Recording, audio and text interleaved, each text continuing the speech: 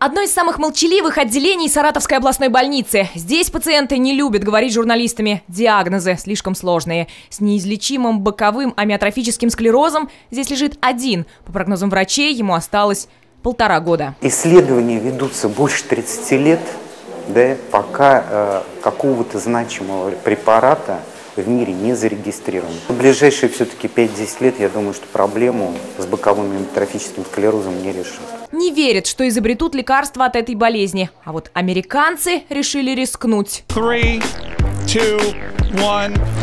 Таким способом собирают деньги на создание лекарства. Боковой амиотрофический склероз поражает нейроны головного и спинного мозга. У человека атрофируются мышцы. Паралич. Что-то вроде обливания ледяной водой. И правило благотворительной акции «Облейся, переведи деньги больным и передай эстафету еще троим». Она как вирус распространилась по всему миру, дошла и до Саратова. А от кого принимает эстафету? Присоединился, да и все. Не совсем понимая правил и смысла акции, известный саратовский художник сразу подхватывает идею обливания. Он необычным образом решает засветиться во флешмобе.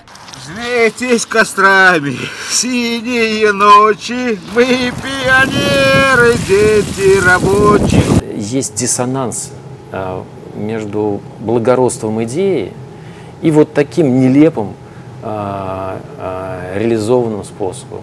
Когда эти баки с водой падают людям на голову, когда девушки в обнаженном виде обливаются, сидя на коне. Бизнесмен Алексей Колесников не стал участвовать в акции. От нелепой до гениальной начался круговорот мнений саратовской элиты.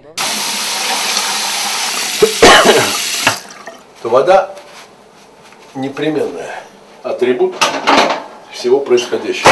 Предприниматель Григорий Гейфман принял развлекательную форму серьезной акции и выложил в интернет, как облился ледяной водой с кадушки после бани. Эта культура на Западе давно сформирована.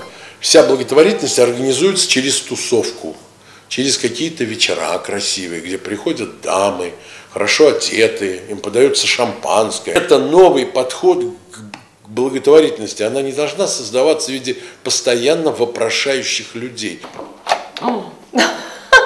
Без тени сожаления облилась и дизайнер одежды Анна Иванова, тщательно продумав декорации публичного действа. Кстати, в этот день как раз у меня была очень хорошая укладка, мне так жалко было. Я выхожу там в купальнике, да, там, а, что там, с ведром, там, или с тазиком. Конкурс мо- мокрых маечек, там, тоже чересчур, наверное. В черном платье и с прозрачной чашей, запечатлев себя на камеру, она перевела больным амиотрофическим склерозом 10 долларов. Если хотя бы часть из этих людей, она услышит и увидит это и поймет, то значит я смогла снести хотя бы небольшой свой вклад. Действительно, суммы на счетах благотворительных фондов за последние два месяца взлетели в разы. По правилам акции, после обливания каждый должен пожертвовать 10 долларов, а за отказ от нее 100. Ну да, если я облился, то значит я не плачу.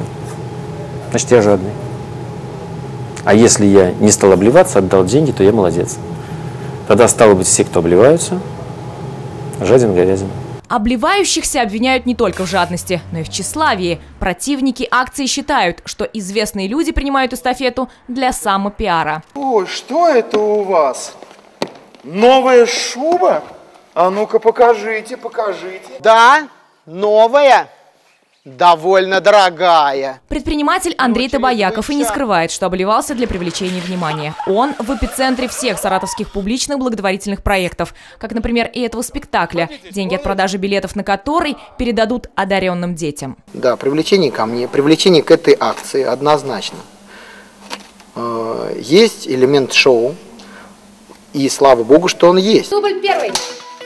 Огромное спасибо, что поддержали фонд «Артист». Осознав популярность акции, ее начали активно трансформировать. В итоге вызов ледяных ведер, проект Ice Bucket Challenge, вышел из берегов. Другие благотворительные организации с помощью тех же обливаний стали зазывать к себе.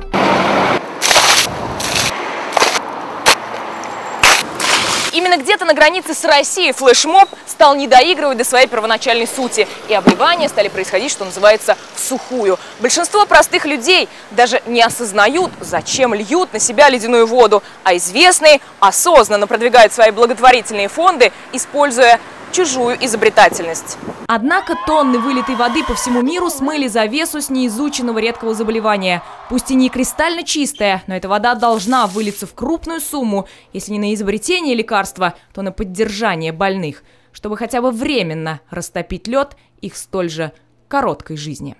Юлия Конькова, Александр Пиченко, Александр Бачков, ТВ-центр, Саратов.